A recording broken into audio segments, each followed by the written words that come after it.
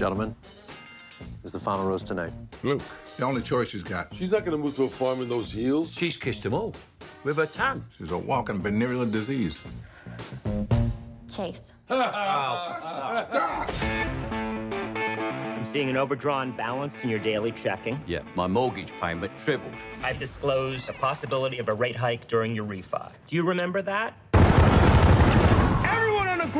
Now! The three men walked off with $1.6 million. They choreographed it like a dance. A conga line right into prison. They didn't get caught. Semtech Steel has frozen all pension payments. I'm thinking of robbing a bank. I'm thinking about buying a Ferrari. I just got drafted by the Knicks. Good week for everybody, huh?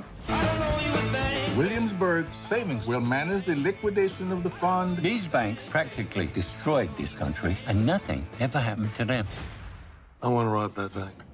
Let's go get our money back. Yeah, You pick exactly what's on the pension, right? that's all I wanted. What if we get more? We give it to charity. It's time for a practice run. We'll be right back. I don't want to stay in the car. It's hot in here. Hello, Al. I gotta get some chicken thighs. Breasts are better than thighs, don't you think? Never has anybody walked off with a whole pork loin. Jump in the basket. Who the hell you think I am? E.T.? I don't know what's going on in the world anymore. Look what you did to Cindy. She's looking like a Colombian drug mule. We're gonna need professional help. You think? You 5-0? We're practically 8-0.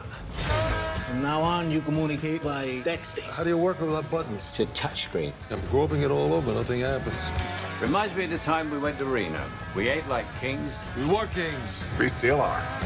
Ladies and gentlemen, What are you chasing me for? Don't make me tase you!